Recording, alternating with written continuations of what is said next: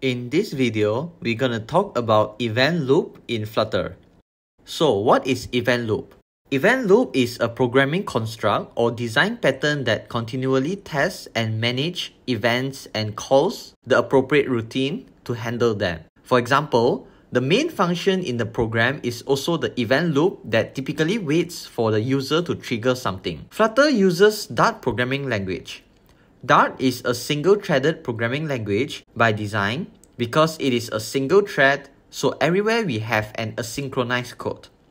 Many library functions return future objects and we can register handlers to respond to events such as mouse clicks, file I.O. completions, time expirations, and etc. So quickly, we can say that Dart handles asynchronous programming by event loop. So what are the responsibilities of event loop?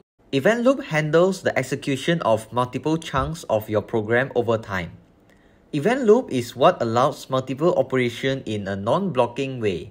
The multi-threaded system kernel helps handle multiple operation executing in the background. If there is a piece of code that may delay the response, we can tell the event loop to keep it aside until the response is received. When one of these operations completes, the kernel tells the event loop so that the appropriate callback may be queued and eventually to be executed. Simply, an event loop's job or responsibility is to take an item from the event queue and handle it. Repeat these two steps for as long as the queue has items.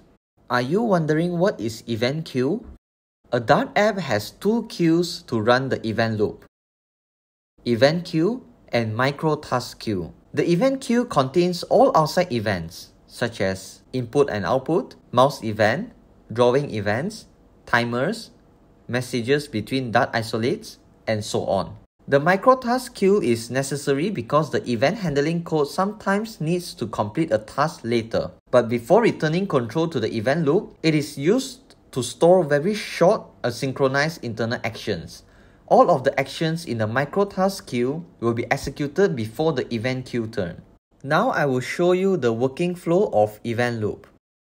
When we start the app, first, main function will be executed. Then the event loop starts its work. Event loop exists two queues, microtask queue and event queue. Firstly, it checks the microtask queue if it is empty or not. If it's not empty, it will execute any microtask in first in first out order.